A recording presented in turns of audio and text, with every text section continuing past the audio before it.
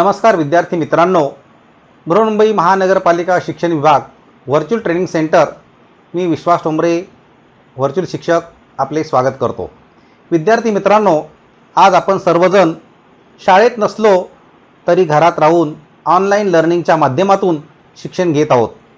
या माध्यमाचा आणि अध्यापन अध्ययनाच्या प्रक्रियेचा आपल्याला नक्कीच फायदा होईल.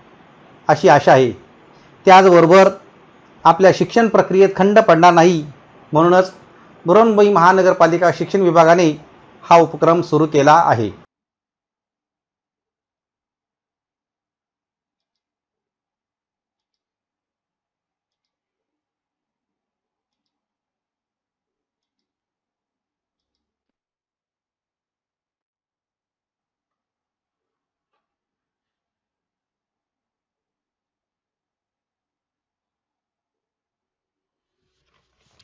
तिसरी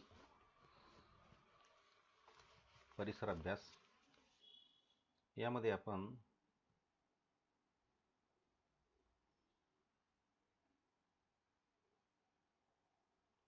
घटक पाठ क्रमांक सोळा ज्ञानेंद्रिये.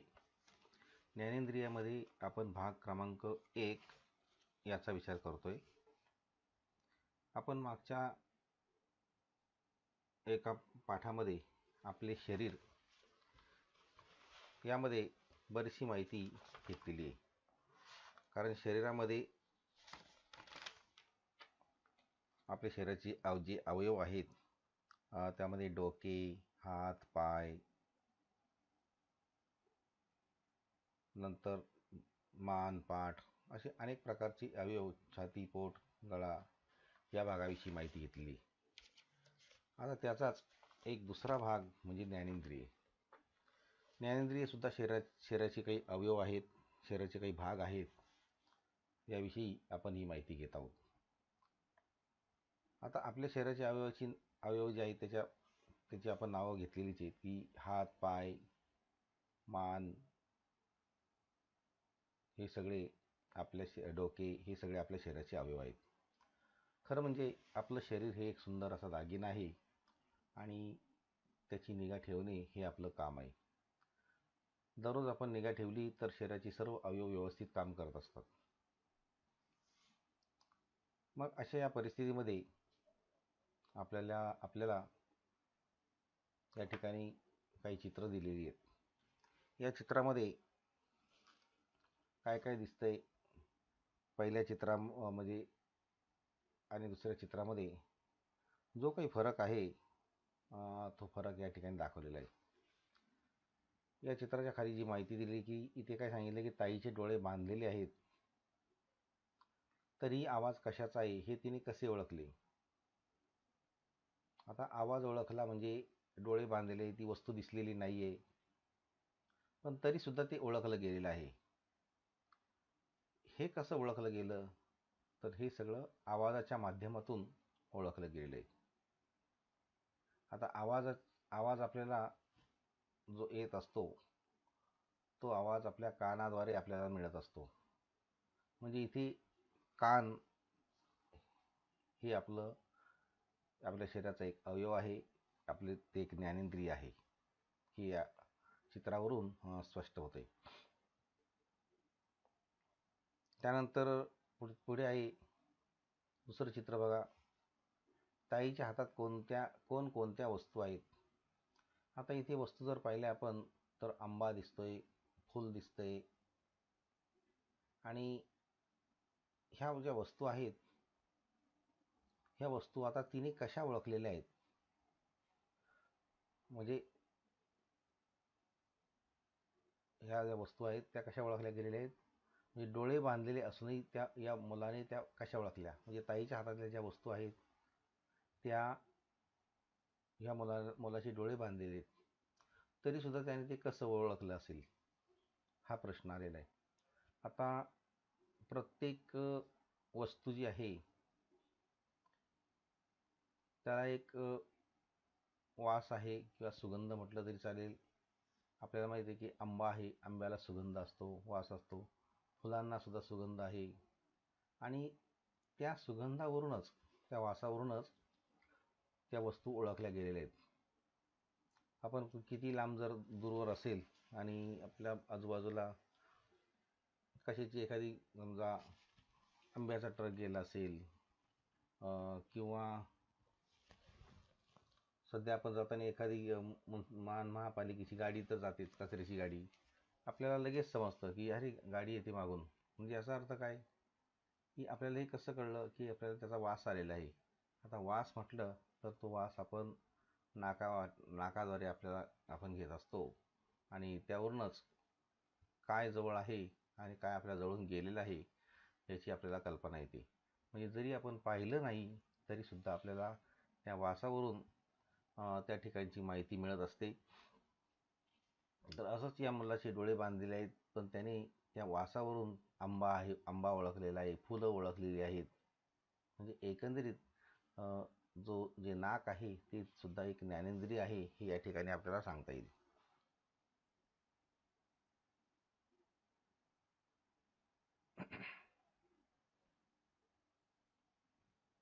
आता इथे सुद्धा चित्र दिलेली आहेत.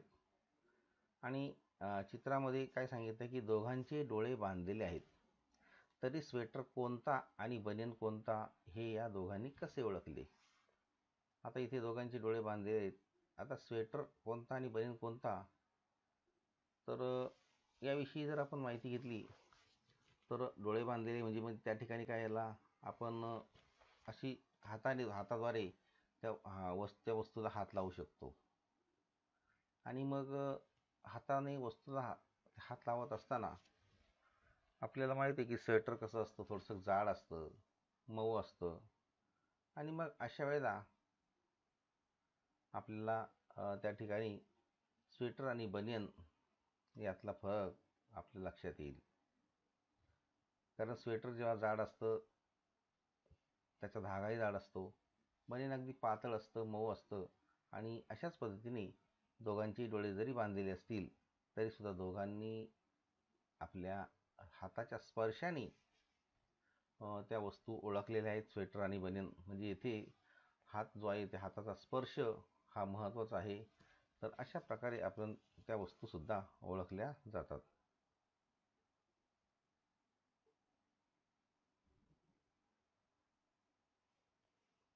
आता इथे आणखी सांगितले की कैरी आणि आंबा यांच्या चवी कशा आहेत ते कशावरून कळले? आता इथे आंब्याचं चित्र दिलं आहे कैरी कैरी आंबा म्हणजे हे जे आहे हे चव.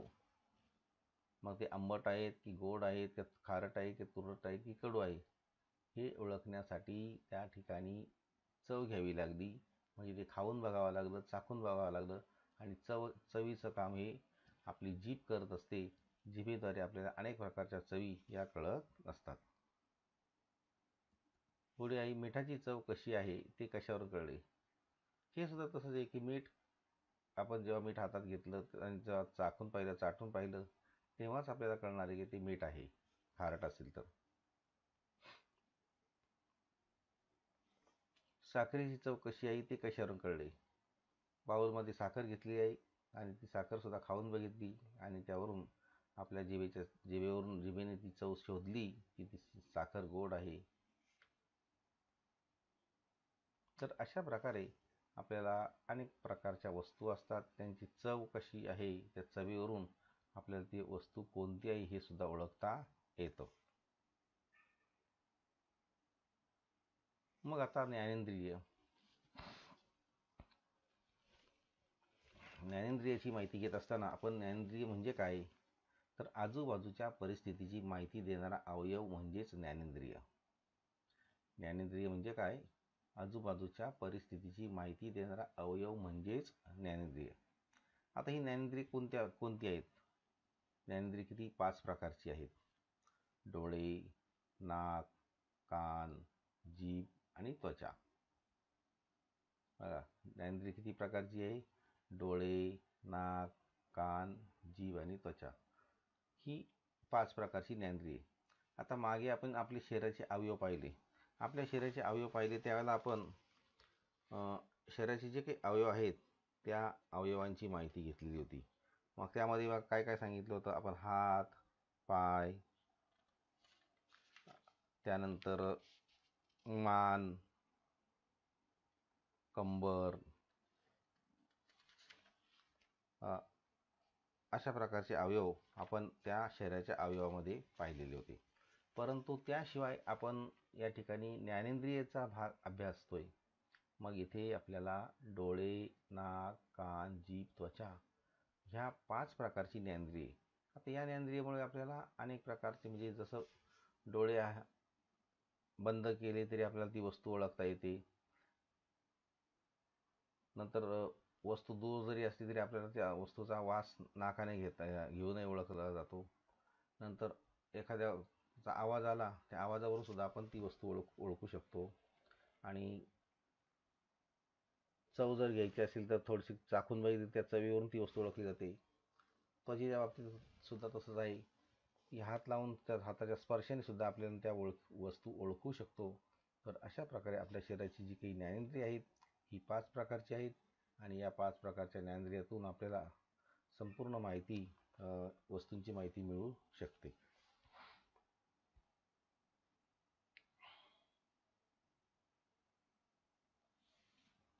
ही ज्ञानेंद्रिय डोळे कान नाक जीव आणि त्वचा ही पाच प्रकारची ज्ञानेंद्रिय आहेत. आता आपली ज्ञानेंद्रिय पाच प्रकारची आहेत. डोळे नाक कान जीभ त्वचा. आता या ज्ञानेंद्रियाचा उपयोग काय होतो कसा होतो ते आपण सांगायचे. आता उदाहरणार्थ रस्त्याने चालताना खड्डा आला. रस्त्याने चालताना दुर्गंधीचा वास आला. रस्त्याने चालताना हॉर्नचा आवाज आला. रस्त्याने चालताना पाठीमागून शर्ट ओढला आणि रस्त्याने चालताना मित्राने चिंच खायला दिली. हे सगळं आपण हे सगळी ज्या क्रिया आहेत त्या आपण कशा कशा ओळखल्या तर याचा जर आपण विचार केला तर आपल्याला असं सांगता येईल की रस्त्याने चालताना खड्डा आला तर तो खड्डा पुढे आहे परंतु तो आपल्याला दिसला आहे कशामुळे दिसला? डोळ्यांमुळे दिसलेला आहे. आणि मग आपण तो खड्डा आपण टाळून पुढे जाऊ शकतो.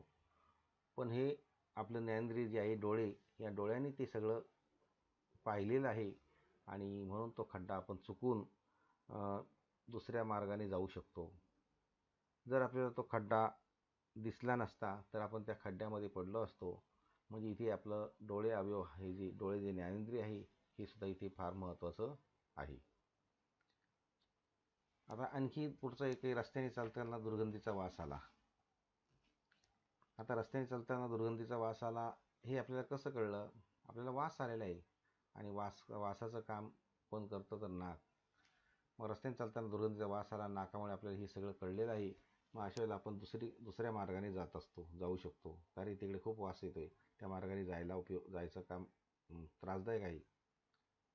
तर अशा प्रकारे नाकसुद्धा तितकंच महत्त्वाचं ज्ञानगिरी आहेत आता पुढचा तिसरा भाग सांगितला की रस्त्याने चालताना हॉर्नचा आवाज आला. आता हॉर्नचा आवाज आला म्हणजे इथे आवाज ऐकला आहे आणि ऐकण्याचं काम कोण करतं? कान करत असतं. मग हॉर्नचा आवाज आला म्हणून आपण काय केलं? बाजूला सरकलोय. हे कोणी काना कानाचं जे कान ज्ञानेंद्रिय आहे त्यामुळे आपल्याला ते कळलेलं आहे. तर अशा प्रकारे ही जी ज्ञानेंद्रिय आहे ही ज्ञानेंद्रिय फार महत्त्वाची आहे. म्हणजे कानसुद्धा तितकेच महत्त्वाचे आहेत. पुढचाही रस्त्याने चालताना पाठीमागून शर्ट ओढला. आता शर्ट ओढला हे आपल्याला कसं कळलं? काहीतरी आपल्याला स्पर्श झालेला आहे. अरे पाठीमागून काहीतरी आपल्याला ओढतं आहे कोणतरी. आणि ते ओढण्याचं काम या करण्यात आलेलं आहे. आणि त्याचं काम जी आपली त्वचा आहे त्वचेला त्याचा स्पर्श झालेला आहे आणि त्याद्वारे हे आपल्याला कळलेलं आहे. पुढे रस्त्याने चालताना मित्राने चिंच खायला दिली. आता चिंची चव ही कशी आहे? खारट आहे आंबट आहे तुरट आहे हे आपल्याला कसं कळलं? खाल्ल्यानंतर. आणि चवीचं काम कोण करतं? जीभ. जिभेमुळे ह्या सगळ्या चवी आपल्याला कळलेले आहेत.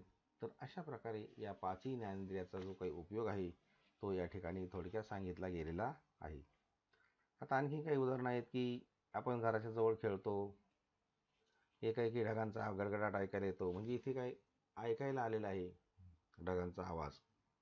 हे कानाने ऐकलंय आणि मग त्या ठिकाणी पाऊस सुरू व्हायच्या आतच या ठिकाणी घर गाठलं गेलेलं जातं. म्हणजे एकंदरीत इथे ही जी ज्ञानेंद्रिय आहेत ही ज्ञानेंद्रिय फार महत्त्वाची ठरलेली आहेत.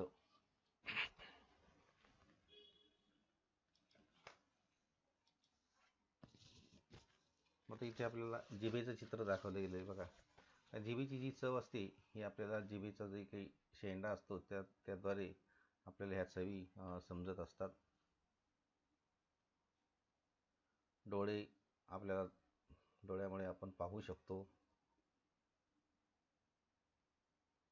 नाक नाकामुळे आपल्याला वास घेता येतो सुगंध घेता येतो त्यामुळे आपल्याला त्या वस्तू कळत असतात. कान कानामुळे आपल्याला अनेक प्रकारचे आवाज ऐकून आपण त्या ठिकाणी काय परिस्थिती आहे काय आहे ती आपण ओळखू शकतो.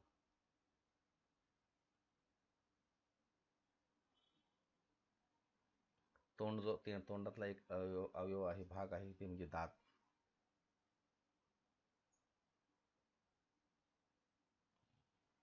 आता पुढे आहे कार्य सांगा.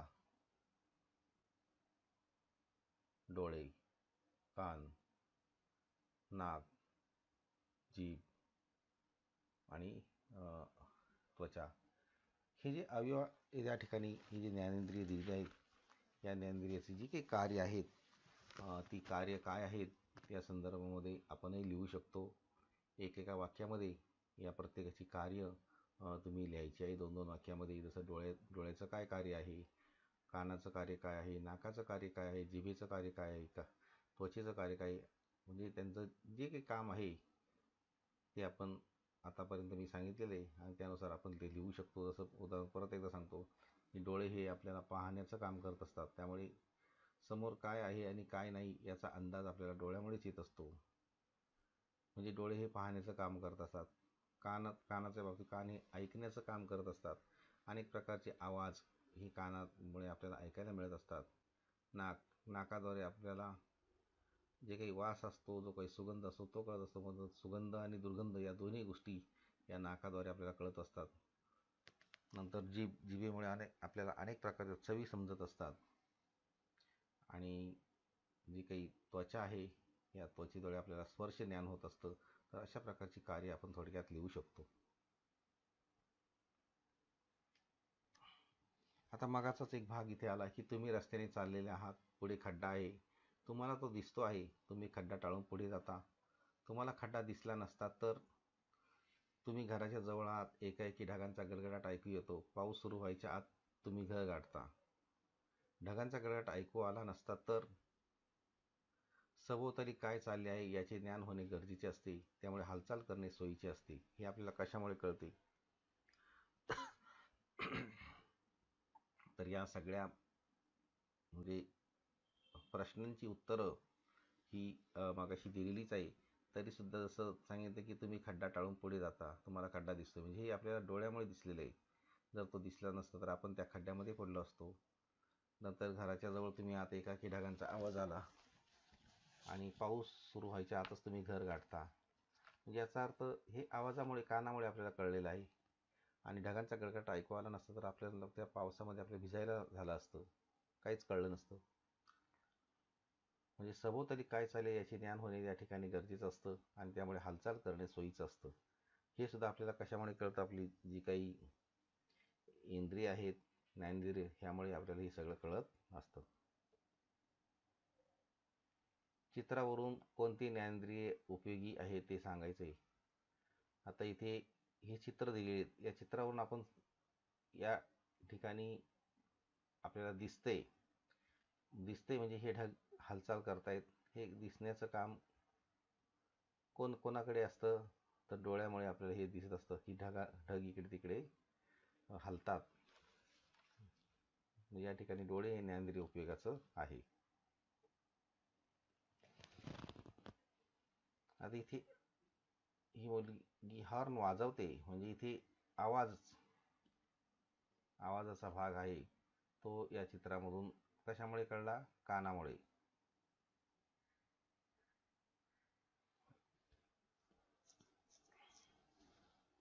आता इथे सुद्धा पाऊस सुरू झालेला आहे. डोळ्या डोळ्यामुळे आपल्याला कळलेलं आहे किंवा आवाज आला आवाज आला पाऊस सुरू होतोय. म्हणजे इथे कानाचा उपयोग झालेला आहे. आकारावरून वस्तू ओळखा.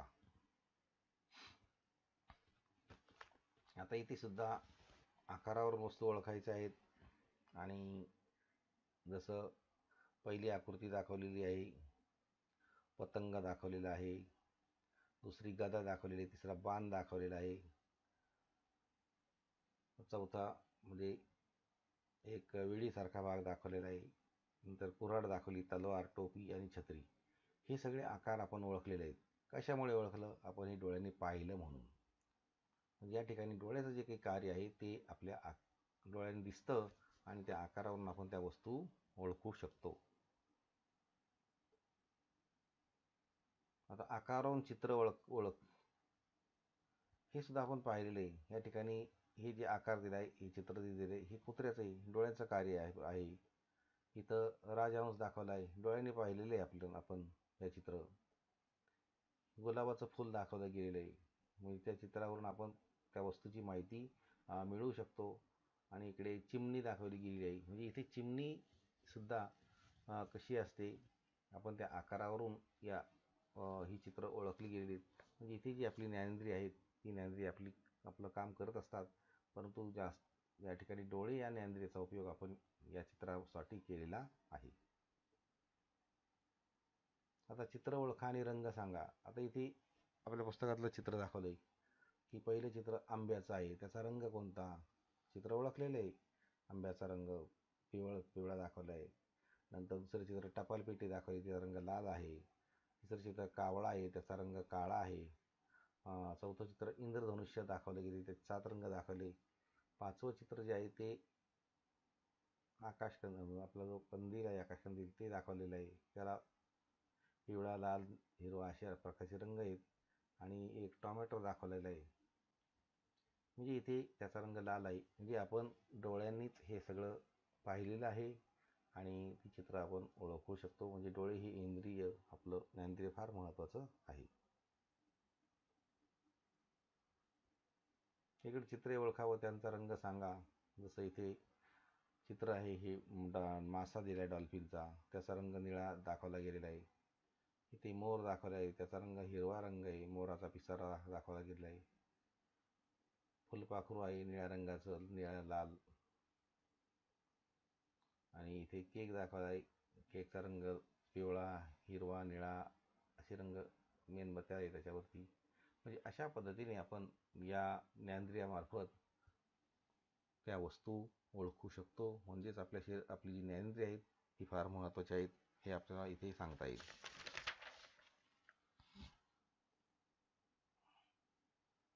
आता इथे आता हे जर चित्र पाहिलं आपण तर कसं बघा हे सगळं दिसतंय आपल्याला. दिसतं पण आवाज पण येतो इथे. म्हणजे याचा अर्थ कान आणि डोळे या ज्ञानेंद्रियाचा उपयोग या हे यासाठी झालेला आहे.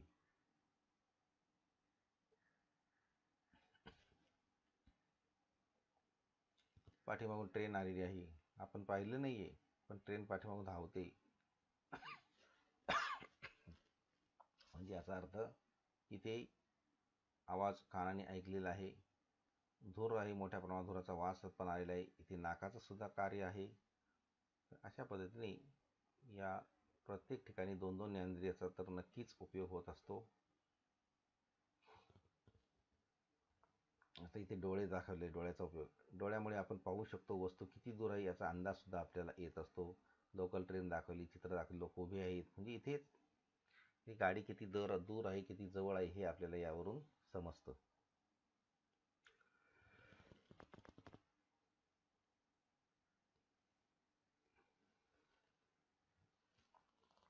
आता व्यवसाय तुम्हाला आहे की व्यवसाय सांगा पाहू. ताईच्या हातात कोणत्या वस्तू आहेत? डोळे बांधलेले असतानाही त्या मुलाने कशा ओळखल्या? स्वेटर आणि बनींचा रंग कसा ओळखला? मिठाची चव कशामुळे कळली? रस्त्याने चालताना मोटारीचा आवाज ऐकू आला कसा? सभोवताली मिठाई होती परंतु ती दिसत नव्हती. हे कसे कळले? अशा पद्धतीने इथे काही तुम्हाला हा व्यवसाय दिला आहे तुम्ही त्याबाबत त्याची माहिती घ्यायची आहे आणि तो व्यवसाय सोडवायचा आहे.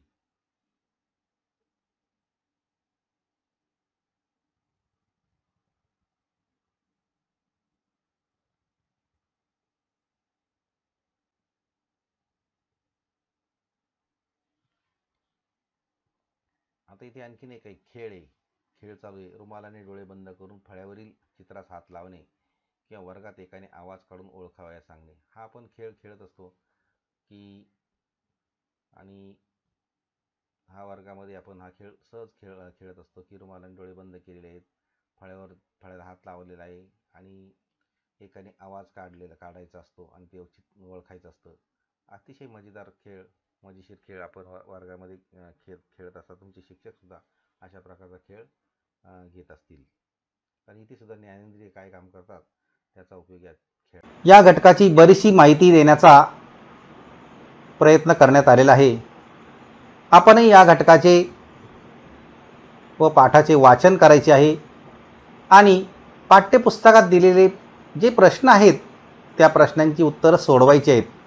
त्याचबरोबर आपल्याला मी काही प्रश्नसुद्धा दिलेले आहेत. ते प्रश्नसुद्धा आपण सोडवायचे आहेत आणि याबरोबरच या पाठाच्या आपल्या प्रतिक्रिया आपण बृहन्मुंबई महानगरपालिकेच्या यूट्यूब चॅनलवर जरूर कळवायच्या आहेत. धन्यवाद.